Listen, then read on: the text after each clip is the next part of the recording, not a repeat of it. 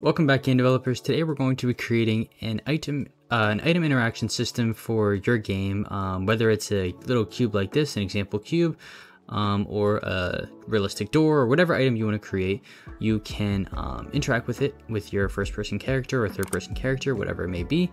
Um, so yeah, let's get straight into it. Um, there should be a short tutorial by the way.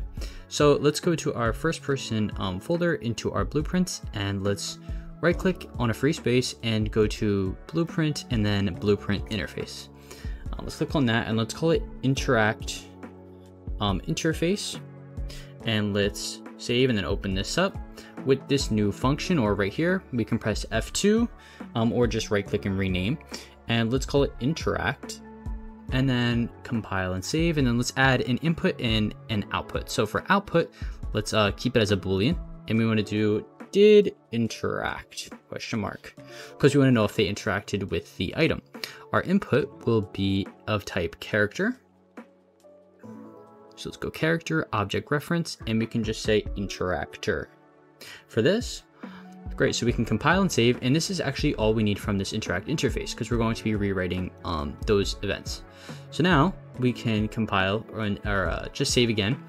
And let's go to create our HUD first. So when you're going as a first person, um, there's going to be a little cursor probably in the middle of your screen, and that's how you'll know when you're actually hovering over an item uh, with your crosshair and when you can interact with it. So let's go to our widget, let's go to our HUD widget, and let's actually create that now. So if we look for an image, we can create that, put that on the canvas panel, and let's just call it um, img underscore crosshair. And um, this is a pretty good method to do it because if you have a crosshair um, that you want to be able to change, like if you're using a gun or something, you can change it pretty pretty easily with this image right here under brush, um, and just make it so it changes uh, whenever you're yielding a different weapon. But anyways, let's change the size of it because crosshairs don't look like this. Let's maybe change it to like three and three. Um, yeah, so it's a small little dot and it'll be right where you want it to be in the middle of the screen. So we can compile and save. Um, and then we can close the HUD. Um, and let's go into our first person blueprint into our uh, character. So this is what we have so far for our item um, interaction. Um, if you didn't watch the last tutorial, I'll go over it now. So what you need to do um, to begin with is you want to go off of your started and you want to create an um, item um, or an input action, and you want it to be of type inter, or uh, you want it to be called IA underscore interact, or whatever you really want to call it. But upon started, you want to create a line trace by channel. Um, this is to basically make like a vertical or a horizontal line in front of the camera um, to figure out what you're actually um, interacting with when you interact with it when you press the button. So we have to create a line to do that. So let's create a start line, and that start line is going from your first person camera or the camera of whatever character you're using. But in this case, it's the first person camera. It will then go to the get world location. That immediately will be the start location. Um, and then we're going to get the end location. In order to do that, we want to get the forward vector. Um, so directly, remember, horizontal of the camera, we want to get the forward vector and get basically a random, or not a random, but whatever scalar x value that you want to assign to it. So for example, I said 250. So we multiply this vector by 250 to make it very far away um, and make it so you can interact with things that are moderately far away. Um, then you will um, add that to the location where you're starting, just so it goes off of that location to begin with, and that's your end vector. After this, we're going to want to get that out hit, and we want to break the hit result in order to get the hit actor. Um, so if you're hitting something, that's what this boolean is here for. If you're hitting something, then we want to do an action. This is basically item interaction that only works for the door. So we're going to override this and make it so it works for all items. So let's get rid of it and compile and save and get started with the new logic. So the first thing we want to do is we want to actually um, move this out a little bit. So let's just move it out a little bit. And then we want to go off of this hit actor that we were using earlier and do two different things. So firstly, let's promote this to a variable. We want to have a hit actor variable. So let's do this and I actually have one already. So what I could do is um, I'll delete the first one. I'll just delete that. And that's from me doing it um, earlier, um, this video earlier, and I had to double take it. But okay, so let's compile. So that is the hit actor variable now. And now what we want to do is we want to go off of this and create a boolean. So we'll have an if statement or you can also just hold B and left click. And let's go off of this and let's actually check a couple of things. So we want to see firstly if we're actually going off of um, if it actually returns a value, if it actually hits. So let's go an and bool off of this. So that's the first condition. Um, let's reroute. This is the first condition. The second condition is going to go off of the hit actor, and we want to see if it implements, um, well, it does implement the interface that we created earlier, which is interact interface. Compile and save. We can go off of this to the return value. Those are the two different um, and conditions that we want to check. And if those are both true, then we'll fire off our new um, interact event that we created inside of our um, interface. So let's go off of true and let's call interact and it should say message right next to it. That's how you know it's the right one. It's going to say target is interact interface. You'll know, you'll know it's the one because it has a little envelope in the top right. So now off of target, we want to make it self. And then off of interactor, we want it to be um, get player character. Great. So now we can set it up and make it look a little bit nicer. Um, and now we, what we really want to do is, oops, excuse us. What we really want to do is we want to have a variable that checks and see if it's interacting so we can um, reference that in all of our items. So let's go did interact and let's promote this to a variable. Um, and instead of it being did interact, let's call it uh, is interacting question mark. Right. And let's disconnect this and let's compile and save and let's actually check this to be true because if we're doing this then that means we are interacting and then let's actually give it a little bit of time in between and then we're going to set it to not be true um, so let's set it to one second in between and then let's do it again and then set it to be not true it's not interacting any longer um, same logic applies for if this is false. If this is false, then we are not interacting.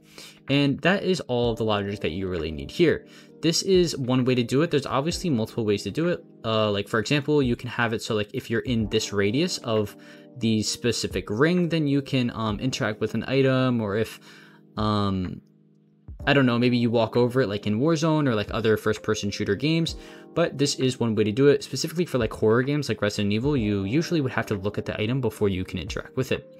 But okay, so now we have this logic, and to make sure that it's working with the um, line trace, let's do for duration like I have right here and trace complex. So now if we go in and if we play from here, you can see that there's a trace that like so. All right, so now we know that this is working. Let's go into our um, our actual door. So let's click on this door, go to edit blueprint, and let's start actually using the logic that we set up. So let's go to class settings and let's implement the interface. So let's look for interact interface. And now the interact interface will be here. We'll compile, we'll save. Um, and all right, so now let's start creating the logic for how this is going to work. So um, if you've seen previously in the beginning of the video, there was some logic right here that actually used uh, that was used for the door. So let's go to the door and let's start changing how that logic is going to be set up. So this is, let me move this over. Let's move this over all the way over here. So let's firstly go to make an if condition. And based on the way that ours is set up, we have to do it a specific way. So let's, since we already have a character reference um, from the last tutorial, if not, you can just follow this right here, create a character reference.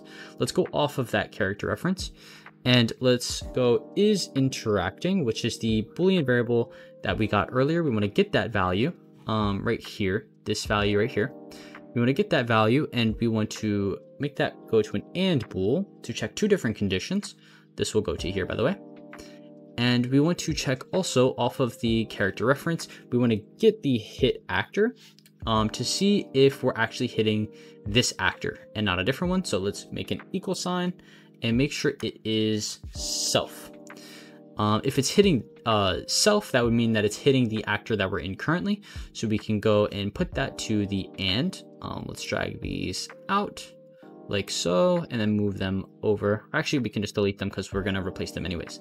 So let's move this down here, set this up. Oops, I guess that doesn't really make it look that much better. Great, so now we have that set up. So let's go off of this branch and let's go and have another branch. And this will be um, following on the logic that we had with our door. So we want to see is interacting. Want to get is interacting. And if um, this is false, which it will be uh, upon first like couple of ticks, we wanted to already run the is interacting with door function. Um, and this function will have the target as self because it will be the door, but this will be the um, character reference. So let's just get character reference. Got it right here. And then on true, we're going to actually use the interaction that we want to happen, which is handle door. So now if we compile and save, this is to fix the logic for our door so that now it works with all items. So let's go in here um, and play from here. And if we go here and press E, which is my interaction, you can see it works. Um, we can go right through, we can close it as well. Um, and it works perfectly. Now this is for the door, so if you want to set it up for something like this as well, that would be very easy. Let's go back in, go to this item, go to edit blueprint, and let's basically do the exact same thing, but just a little bit different. So since we don't have an event begin play, um, let's go to our event begin play. So let's begin play, and let's go off of this, and basically just go to um, cast to BP underscore first person character. We want to get the first person character. Uh, get player character, I'm sorry and we want to uh, make that a variable. It seems to already have this here, so we can just do this like that. Um, but for your case, you can just right click and promote to variable. Um, it's it'll be the same exact thing. I just happen to already have it right here. So now let's go like so, clean it up a little bit, and let's get the event tick and basically do the exact same thing. So I'll show you another way that you can set it up so that it'll be a little bit more modular for you. So you can do the exact same thing we did last time. So you just create a branch, off of this branch, we want to do the exact same condition. So we'll go right here, copy this condition, and paste that condition. And this will be the same condition for every single one. Since this is white, what that means is, is that it doesn't have a variable called character ref here. It is called BP player ref. So what you can do is you can um you can hold control, click on it, hold control, and hover over it to change node to that node, and it will replace that node. Um, just to make it a little bit faster for you guys. Um, and what we can do is we can make it so we fire off a certain event every single time. So let's make a custom event. Let's just call it interacted. Let's make it right up here. And we can just do something simple like print string. If I could type. And let's just make it say something as simple as like interacted. And then after a second or two, or even half a second, we can make it go straight to deleting the actor so we can uh, make sure that it definitely works. So let's destroy actor. We can compile and save and then make sure that off of this true, we go to interact message or not interact message. Sorry. Do not get confused with that because that easy that is easy to get confused with. We wanted to use this custom event that we got right here. So it's going to be interacted. Great. So now if we compile and save, and if we go back in and play from here, if we go right into this, we can press E. Oh, I'm sorry. I've completely forgot the very uh, first step that we're supposed to do. We're supposed to go to class settings and go to implement interact interface. So it's, uh, oh, same, same ordeal. Because I made this video earlier, I had to uh, remake it, but because there was like some glitch with the screen, but I'm gonna have to delete that. You guys won't have this issue once you go to class settings and you add interact interface. You will now be able to do this once you go into your first person um, map and you press E, it'll say interacted, and then boom, it's gone because it's interacted. So yeah, if you guys want, you can turn off the visible for duration so it looks more like um, a game and you're not in debugging mode. So yeah, so now it works for any item you want to have it on. It will work for the door. Um, it'll work for this little cube. It'll work for whatever you guys want. So yeah, I hope you guys enjoy this tutorial. I hope you guys liked it. Um, I hope it was informative and you learned something new. And let me know if you guys have any more tutorial ideas you want um, in the future. Um, I hope you guys enjoyed and I will see you guys later. Thanks for watching.